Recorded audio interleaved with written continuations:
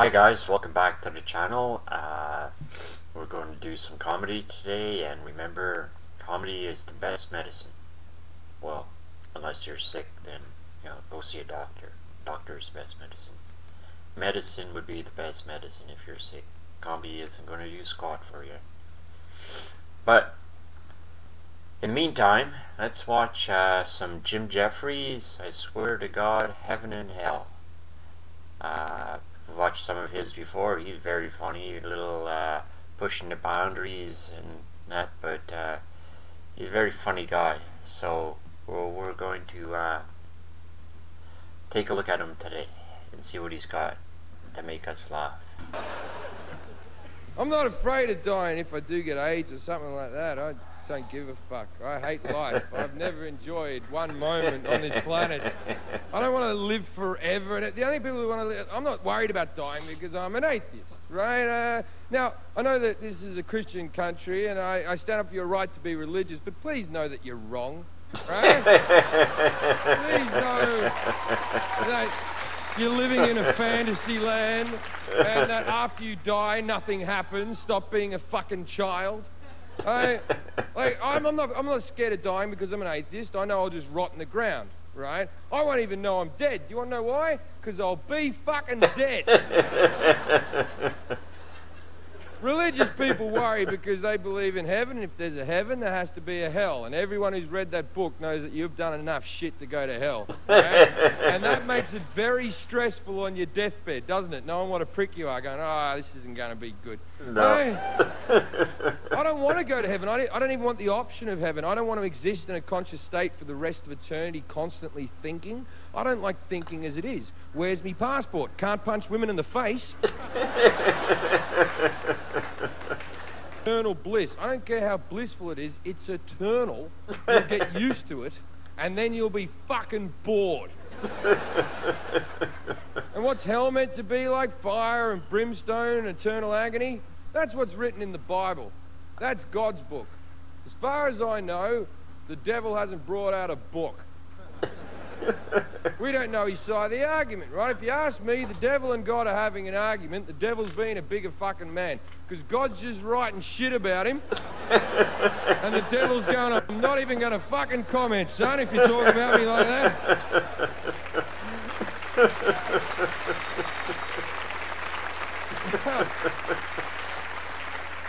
Let's let's think about this rationally, right? Which isn't a good point for the Christians. Rational thought. Fire and brimstone and eternal agony. That's what's meant hell meant to be like. That's written in the Bible. Now, God runs the entire universe except for one place, which is run by hell, and the devil is run by the devil. And now the devil is his biggest enemy, and they don't get along whatsoever, right? Now, if you act bad, you go to hell, right? Now, you've lied, you've cheated, you've stole, you've been a prick your entire life. Why would the devil punish you? You're one of his boys. He's going, that's where all the hookers and drugs are going to be. You don't think they're going to make their way into heaven? Don't think God's going to open the gate and go, Jim, you've been such a good guy. See this big titted whore with a line of coconut? Knock yourself out, son.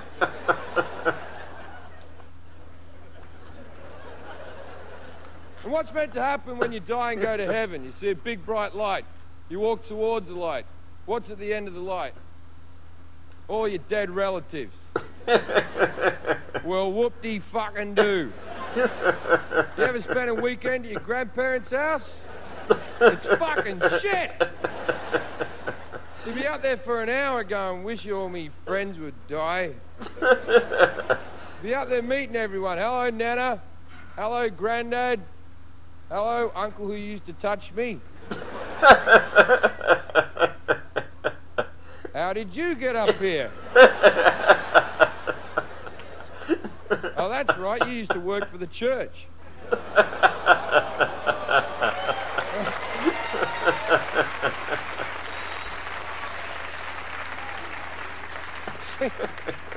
you hear that little groan when I said that? When I said you have to work for the church? It's because religious people are in the crowd and they don't like hearing facts. I was in the Catholic Church. It's been on 60 Minutes. Fucking fact. But I say, and it's like, oh, no, no. Because religious people will forgive God for fucking anything. if he, he, in their mind, he does good things, rainbows, children's laughter, shit like that, right? But when he does bad things like hurricanes, AIDS, cancer, child molestation, then we just go, oh, well, God works in mysterious ways. What type of an excuse is that? What, what, is, what is mysterious about acting like a fucking asshole? That is like the least mysterious activity since the dawn of time. If, if I ever date a religious girl, she's going to come home and I'm going to be raping a mum right? and she's going to look at me and go, What are you doing? And I'm going to go, I'm mysterious. I've always been mysterious. Religious people are just fucking stupid. There's how the world was created, which everyone, scientists and rational thinking people believe, and that's the Big Bang Theory. And then evolution kicked in. There's little microorganisms made like a tadpole, and then that tadpole learned how to walk or something. And then there was some animals in between, and then fucking monkeys. Then, then there's how religious people believe it was created, and that's creationism.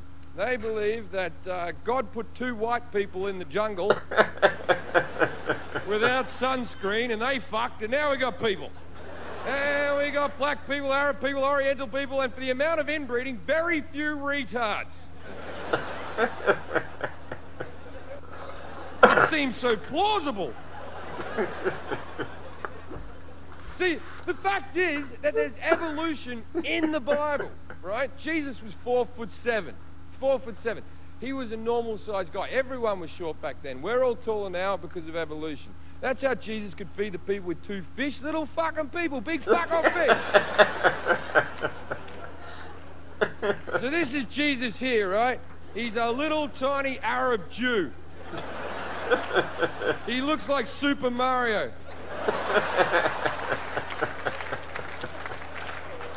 now, if Jesus is this big, that means his cross was maybe, maybe that big. now, I'm not saying I'm better than Jesus. But if I was on that little cross, my feet would be on the ground and I'd fucking live. Kill me, I'm way more powerful. Not only would I live, but I would lift the cross out of the ground and beat up all the little Roman bastards. and history would be very different. Thousands of years before Jesus, there was a guy called Noah. And Noah built a boat. And Noah lived to be 950 years old. But they never mention that in sermons because we might think it's bullshit. and Noah was thousands of years before Jesus. So Noah was about this big. There's little Noah with his long hair and his great big beard. He looks like a glorified chess piece.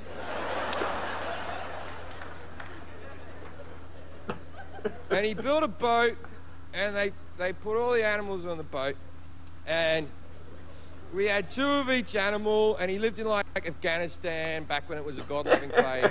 And all the animals came and they all swam there and shit. They all made it there in like a week, all the kangaroos and all that type of stuff. Then he worked out some type of refrigeration system to keep the polar bears cold and the lions hot. And he made the door on the ark very small so that the dinosaurs couldn't get in because he was. then he had storage areas for all their delicate diets because we all know what picky fucking eaters pandas are. Aren't pandas a bunch of cunts?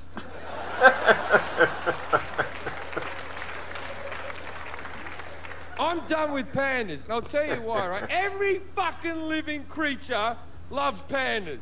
The panda doesn't have a natural predator on the planet out because they're fucking dicks. Fuck them. Let them die out. The pandas don't fuck each other, therefore they don't have babies, therefore we've got no fucking pandas. With, with, they're dead weight. Let's lose the fucking pandas. We've tried. We have fucking tried. We, the human race, put pandas in cages together and try to help them. Fuck, but they don't. We go, there's a panda. Go fuck the panda. and they just look at each other. You put me in a cage with anything. anything. And after a week, I'll fuck it.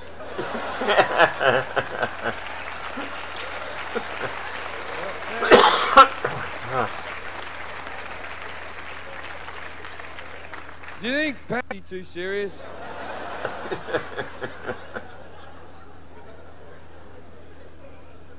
now, that's all I'm going to say about Christianity. Uh, to be honest with you, it's just a glorified panda joke. So this, this is how comedy works, right? You start with the funny bit and you work backwards. So I start panda, and then I go all the way back to small Jesus. Very logical. Uh, but I know I'm in America. I know you people love God and all that. Uh, so let's pick on a few more religions and make it fair. All right? Jews. What's all that about? What's with the curly sideburns? Where in the Bible to say, if thou loves me, thou shalt look like a dick?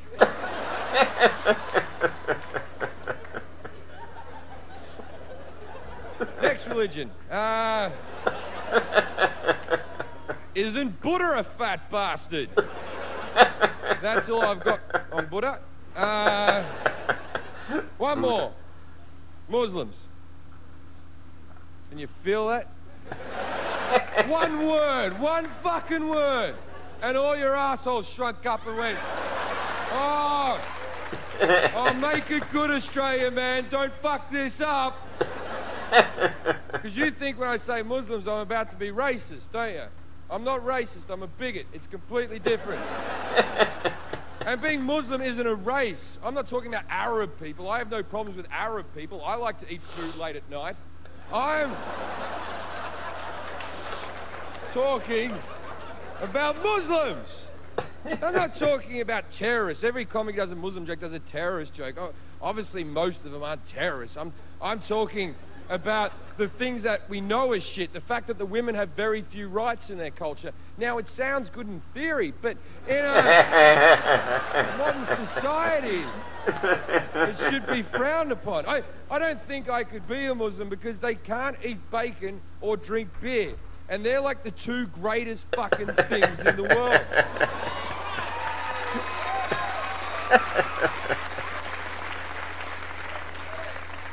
You take bacon and beer away from me, and I'll fly a plane into a fucking building. All right. Okay, that was Jim Jefferies. I swear to God, uh, Heaven and Hell. That was very funny. That that had some good good funny bits. Uh, and uh, he's a very funny guy. And I hope you enjoyed it. So we'll see you next time. Thanks for coming and uh, have a nice day.